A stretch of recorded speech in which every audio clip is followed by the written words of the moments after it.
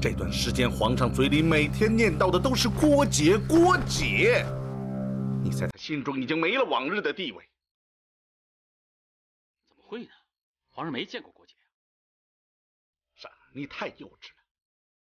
他们都已经见了好几次面了，你却蒙在鼓里。怎么可能啊？这简直太难以相信了。为父亲眼所见，亲耳所闻，我能骗你吗？这郭姐简直太可恶了。不过她虽然可恶，但是我现在还不想动他。他正在帮我寻找皇上心爱的九龙杯呢。如果我没有猜错的话，他这次去太极门一定是为了此事。哦，原来是这样。这倒也是。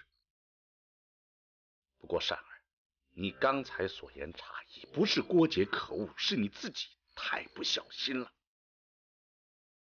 这样吧，既然郭姐是替你去寻找皇上的九龙杯，你听为父的话，明日早早进宫，主动去觐见皇上。然而，千万不能因一时的疏忽而自毁了大好的前程啊！父亲，你放心吧，孩儿会听你的话的。嗯。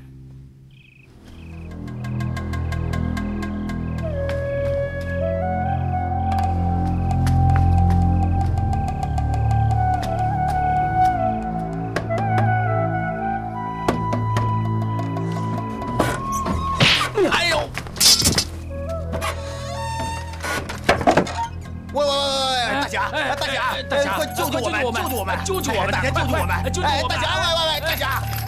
前辈，我是来救你的，快快跟我走！你是何人？回头再告诉前辈，现在来不及了，一定要走。在下没有他们的钥匙，只能先救前辈一人，请。喂喂喂，大侠，大侠，别走啊！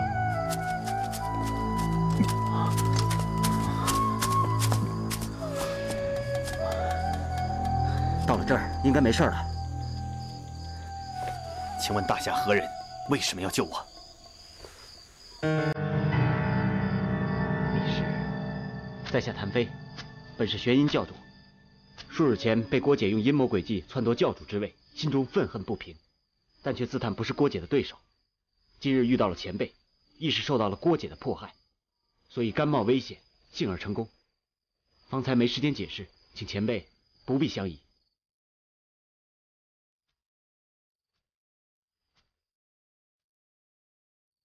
这么说，我们是同道中人。前辈若不嫌弃，晚辈愿追随前辈，共图雪耻复仇大计。哈，真是天不绝我。你放心，就算拼上我韩通这条命，我也要让郭姐睡盘你。关于你玄阴教那点基业，算不了什么。只要你愿意跟我合手，我们一定能干出一番大事业。那正是晚辈的心愿。前辈在上，请受晚辈一拜。不必了，以后你不要叫我前辈，我们就以兄弟相称。那大哥在上，请受小弟一拜。二弟，我以后就叫你二弟。这次韩某不慎中了他们的奸计，此仇不报，誓不为人。我一定要让他们知道我韩通的厉害。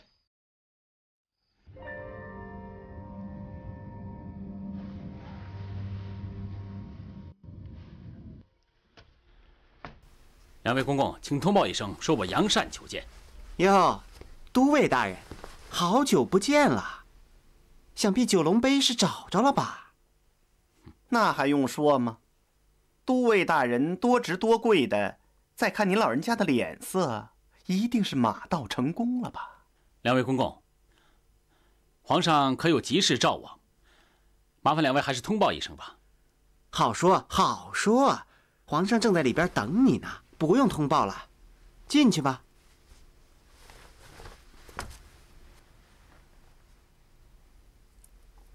嗯，好。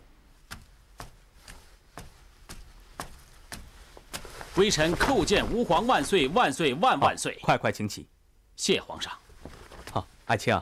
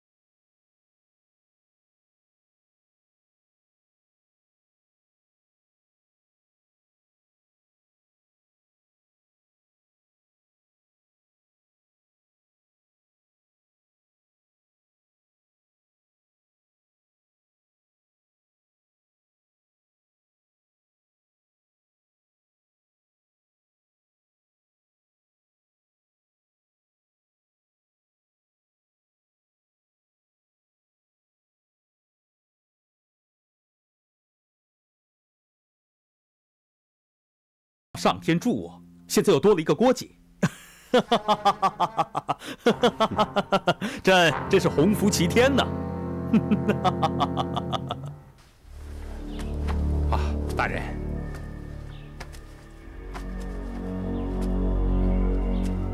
这些都是谁的东西啊？啊，大人，是您的寿辰快到了，这些都是京城的商家给您准备的寿礼。啊，您看这花瓶精致极了。哎，大人，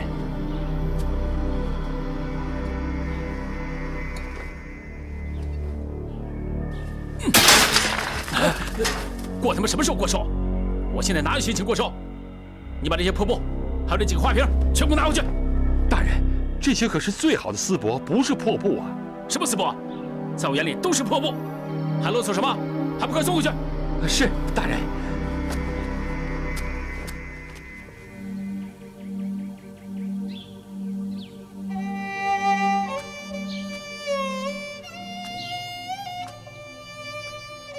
如梦，你在想什么呢？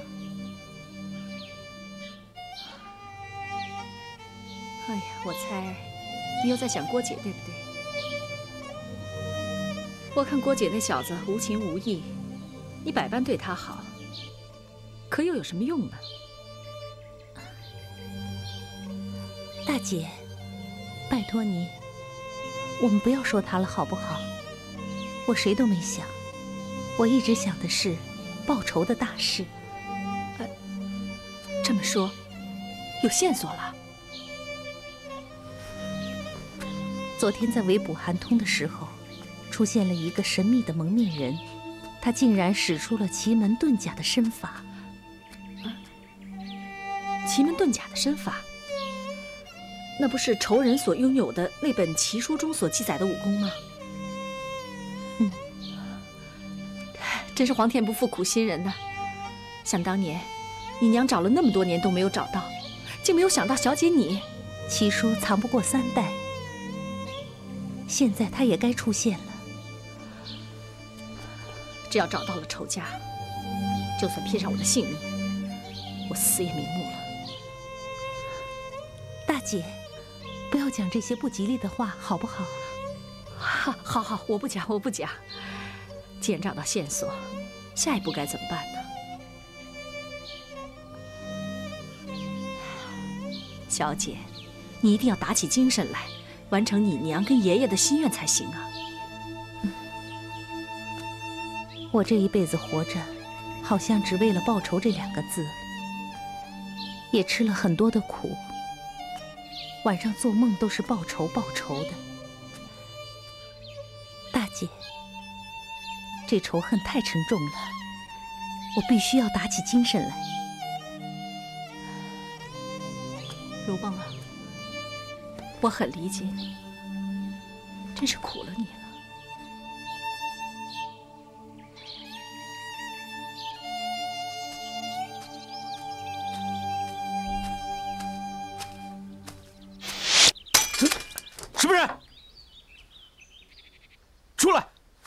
你的反应可是比以前快多了。大哥，大哥，怎么是你啊？哎，你这两天跑哪儿去了？一点音讯都没有，急死人了。当然是为了正事。哦，那小玉一定有消息了吧？我知道你肯定行。我正是为此事来找你的。虽然没有确切的消息，但那帮朋友说，在酒铺曾经见过他和一帮匈奴人在一起，所以我来找你一块去看一看。哎，不管怎么着，你回来了，我心里就踏实了。嗯，哎，大哥，那天晚上在棺材铺，你到底发生什么事儿了？秀英姑娘回来说的可邪乎了，到底怎么回事啊？一两句话也说不清楚。这样吧，以后有时间我再慢慢的跟你解释。哦，哎，萧音怎么样？啊，他呀去找他叔叔了，也就是大月支的使者。他走之前留下一句话，说你回来一定要去找他，他叔叔想见你。还有啊，龙先生也要见你。现在见谁都不重要，我最担心的是小玉。跟我走。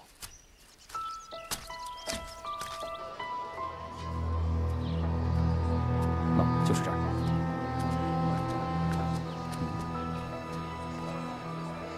怎么突然停业了？的确是很突然。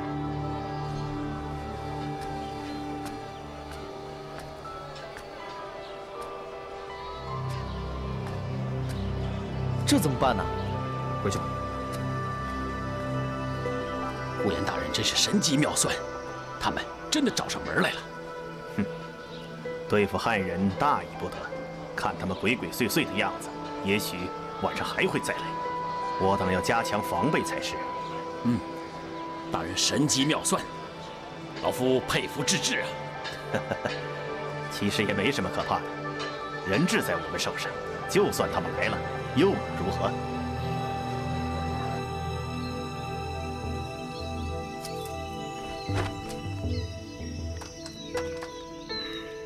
一步走错，满盘皆输。大哥，不要气馁，小弟在轩辕教中还有一些心腹，不如把他们叫过来追随大哥，那又是一股新的力量。你也太小看你大哥了，难道我是一个认输的人吗？你放心，我一定帮你扬眉吐气，这样我们才能心满意足。那就仰仗大哥提携了。好，时辰到了，我带你去见一个人。大哥还约了人吗？当然了，以后让你感到意外的事情还会非常的多呢。走。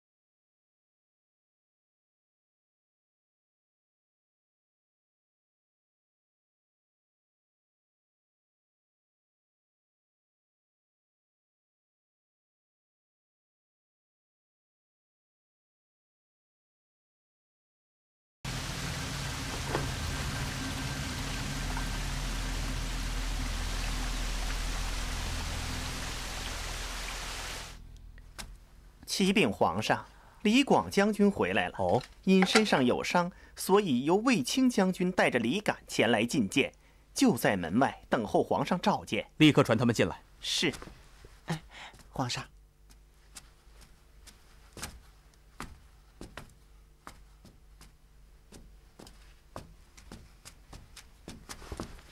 臣卫青叩见皇上，吾皇万岁万万岁！草民李敢叩见皇上。哦，两位爱卿，免礼平身。谢万岁。你就是李敢。朕早就听过你的名字，魏将军也一直赞你剑法如神。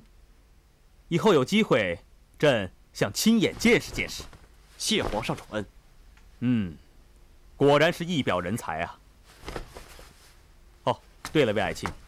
朕想听你说说李老将军是如何说的边塞军情啊？李广将军此次西出雁南关，深入寨外数百里，巡查了所有的军营，我们的士兵都已是整戈待旦，训练精良，随时准备出击了。哈，那匈奴那边呢？唉，匈奴的兵马也是蠢蠢欲动啊。啊，所幸没有发生什么大的冲突，只是有一小股骑兵在四处劫掠。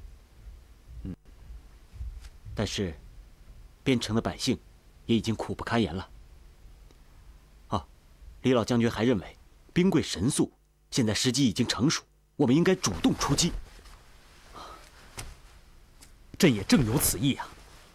魏爱卿、李敢，你们跟朕去见一见霍去病、杨善和郡主。朕今天要做一个决定。李敢，你不是一直想从军报国、上阵杀敌吗？现在机会来了。还不赶快叩谢皇恩！哦，等等，等朕封了你官职以后再谢不迟啊。把朕的朝服拿来。皇上，您不是要微服出宫吗？哼，朕改主意了。皇上，臣是不是先行一步，在寒舍恭候圣驾？哼，还这么多规矩啊！那好，你先去吧。微臣告退。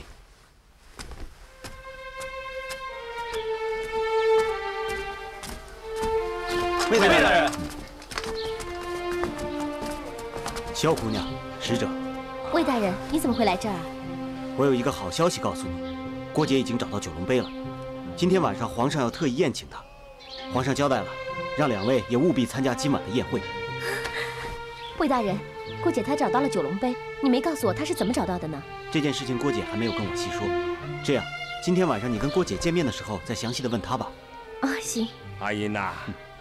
这个郭大侠是不是你常说的郭姐呀？我不告诉你。我知道我侄女的眼光是错不了的，不过你要带我去见见她，以后回去我也好向你父王禀报啊。叔叔。啊。对了，魏大人，我已经好多天没有见到郭姐了，她知道皇上要宴请她吗？目前还不知道，不过很快就知道了。此话怎讲？我已经派人去找他了，一会儿他就会跟霍去病到我的府上跟你们见面。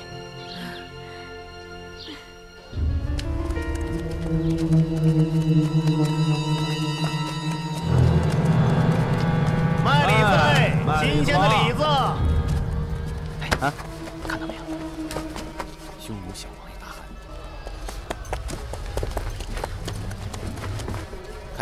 就是匈奴小王爷大汗，没错，就是他。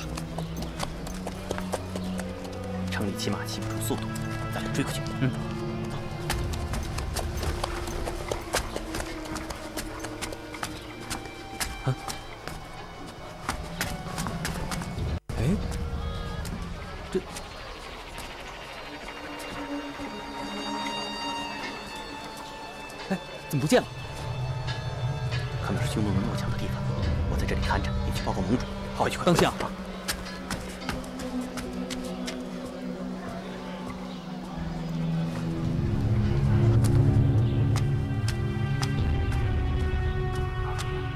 属下黄山九号参见盟主，有情况了吗？正是，属下与黄山七号在街道上见到了匈奴王达汉，此人行迹可疑，我们跟踪之后大致发现他们落脚之处。黄山七号在哪里？属下让他在茶楼门口等候。糟了，黄山七号有危险了。匈奴人巢穴怎会没防范？你们真是太大意了。追月巧月。我们赶快过去。是。卖水果嘞，刚摘的李子。老大爷，买点水果吧。这桃子、李子可都是刚摘的，挺新鲜的。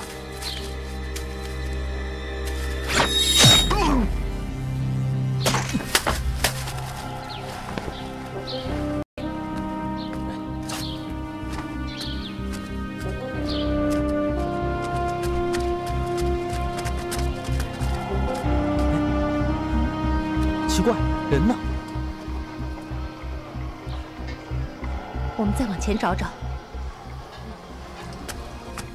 来，回去吧，回去吧，回去吧啊！别看了，别看了，回去吧，回去，回去，别看了，别看了啊！来，回去，回去，回去吧，回去吧。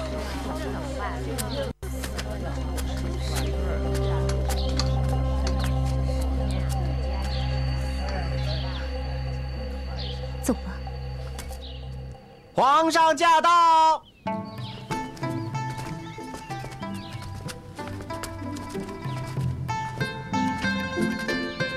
微臣民叩见皇上。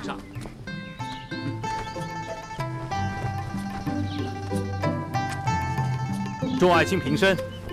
谢皇上。众卿不必多礼。本来朕想微服出访，以龙先生的身份和大家见面，可是朕又有了新的决定。魏爱卿，你上前来，朕有话要对你说。是。皇上，卫青，这样，嗯，嗯嗯，霍去病、李敢上前接旨。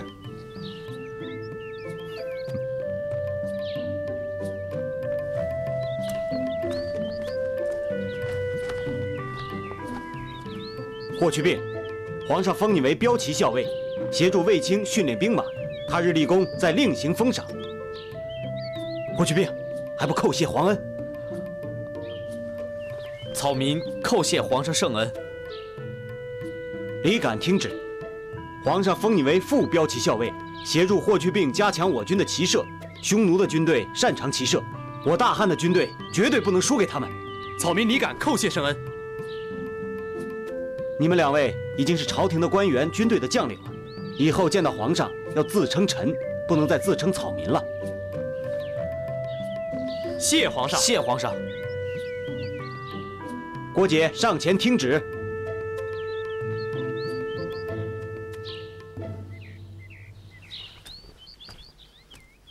魏大人，恕草民不能跟皇上以君臣相称。不得无礼。郭姐，这是皇上的意思，你知道违抗圣命的后果吗？知道。我跟皇上。是不义之交，也是以兄弟相称。我不想改变这种关系。难道你不愿意为国效力吗？爱国之心，人皆有之。为朝廷效力有各种各样的方法，关于这一点，龙先生应该能够理解。郭姐，郭姐，好一个郭姐！好，既然你不愿为官，朕就不勉强你了。以后我们还是朋友。谢龙先生。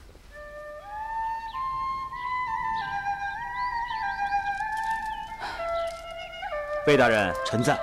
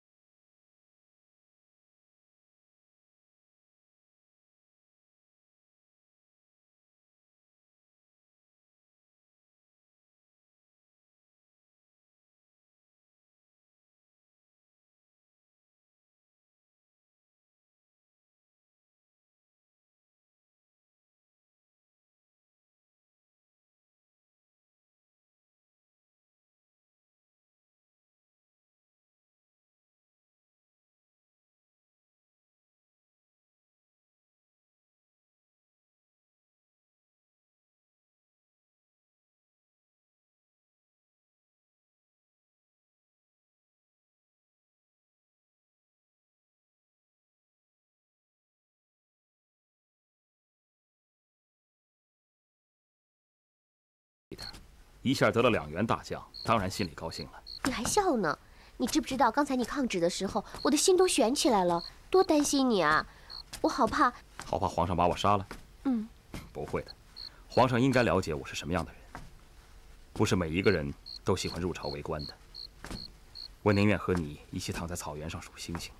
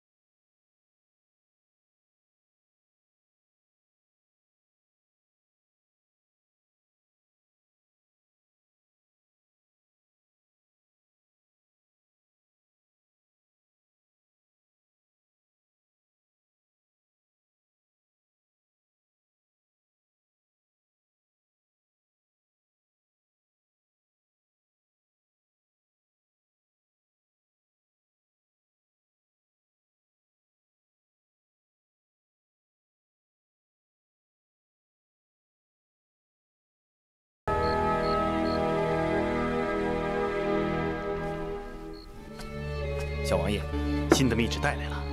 真的吗？快拿给我看看。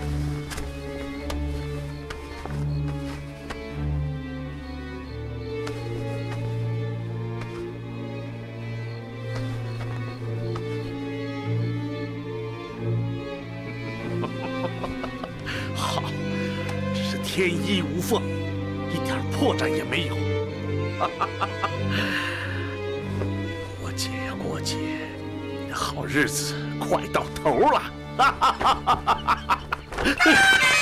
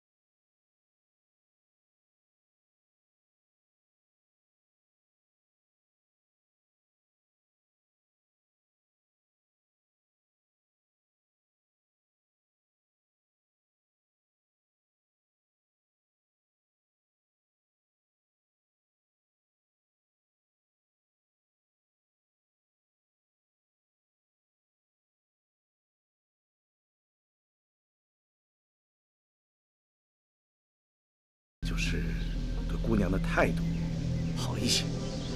从现在开始，我敢以性命担保，没有一个人敢再对你无礼。你放心吧，你现在先去洗个澡。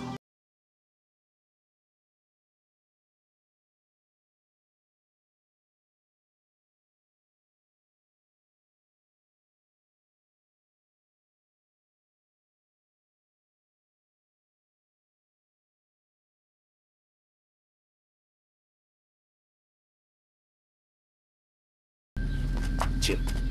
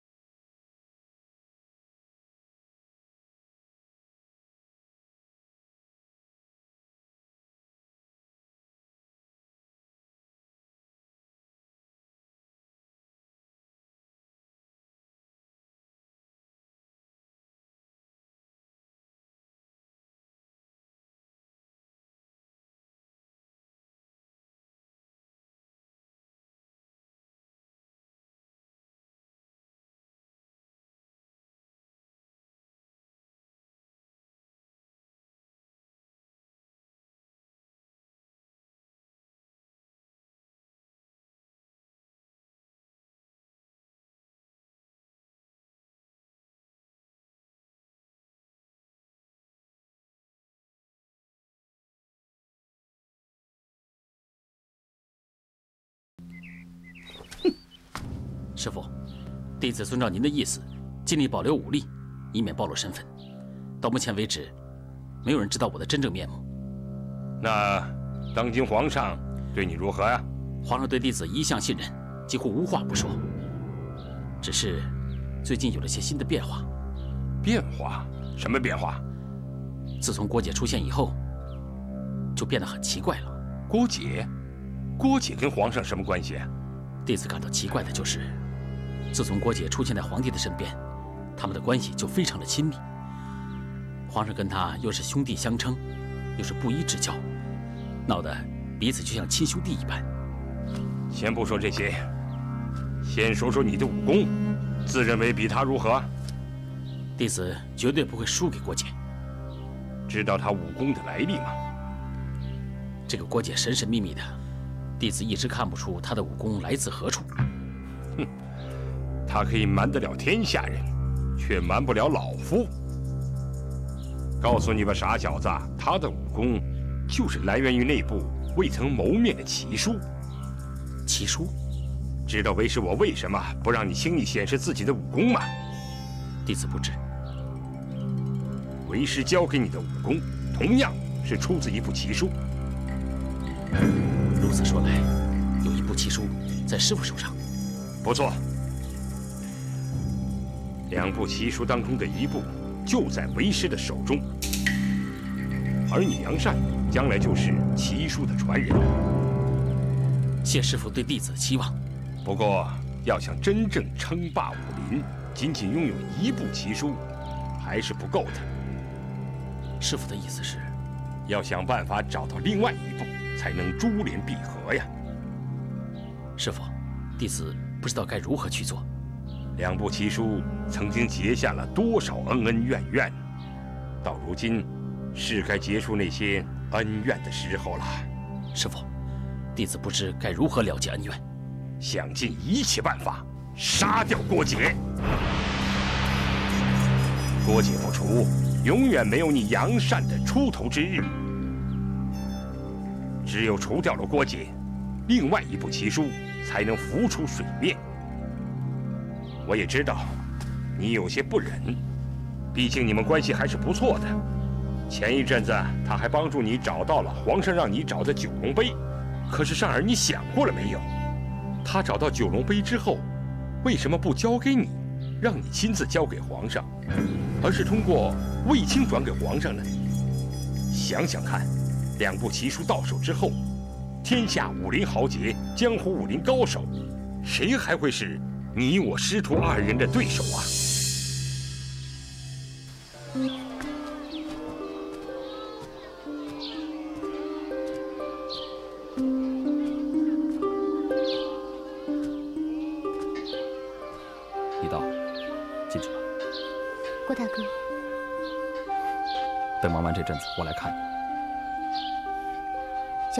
消息吗？是啊，还没有消息。现在倒好，糊里糊涂的又当了个玄阴教主。既然答应了人家，你就好好的负下这个责任，也不辱没你玄阴教教主这个头衔呀。这个时候开我玩笑了。啊，对了，大哥，这个你千万要收好，说不定救小玉的时候可以用上。嗯，知道。阿英，忘了告诉你，有什么急事的话，就到铁匠铺去找老铁，他有办法找到我，知道吗？去吧。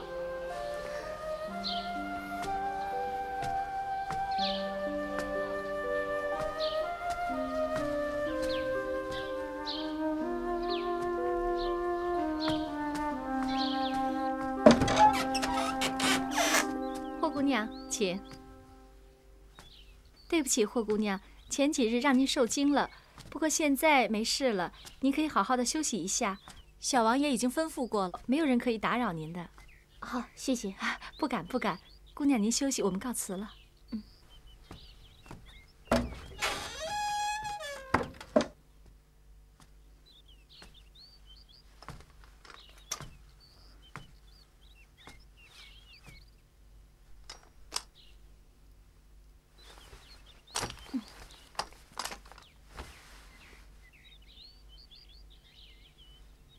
这到底怎么回事？真把人弄糊涂了。呼延大人。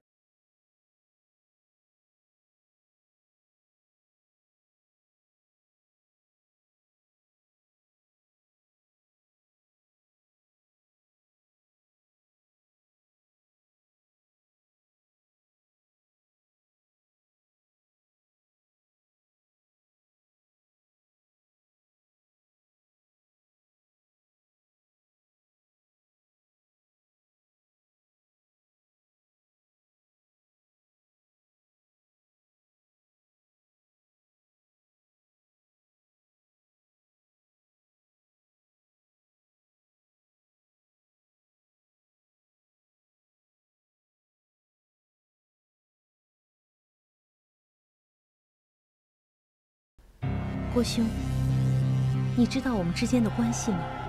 什么关系？严格的说来，郭兄您应该叫我师妹。师妹，长安游侠郭姐，实为我匈奴内应。小玉，这些你从哪儿得来的？这忘恩负义的郭姐，实在太可恶了。